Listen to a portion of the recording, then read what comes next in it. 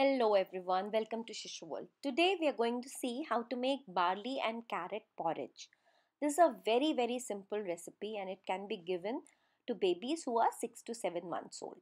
So here we have taken some barley porridge, barley dalia which is easily available in the market. And this dalia I have washed and soaked it for about 10 minutes and then I have drained it and we will also use some carrots. I've just cleaned it washed it nicely and then chopped it into small pieces. It this is a very very simple recipe to make and a good change from you know normal rice or wheat recipes that we make. So just pour the dalia in a pan and add the carrots to it. And we will add enough water so that it can cook well. After that we will cover it and cook it on uh, medium heat for 5 to 7 minutes. I think it needs a little more, more water, so I'll add that. And then you can add more water as in when you feel it is needed. So here it has been cooking for about 5 minutes. And as you can see, the dalia looks very, very well cooked. It is completely soft.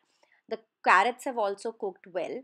I'll add a little water to uh, make the right consistency now you can use uh, a stick blender to blend it.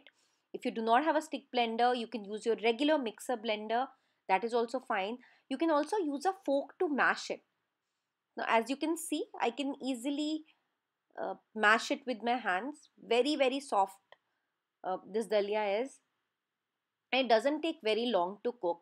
Maximum 10 to 12 minutes and it will be nicely cooked. But sometimes there might be a little bit of difference so adjust once you have cooked it just check it. So now I have blended it and this porridge or soup whatever you may want to call it is ready for baby to eat. You can also uh, make it for toddlers and older children because it is very nutritious. Add some salt to this as per your taste and it can be given to older children as well.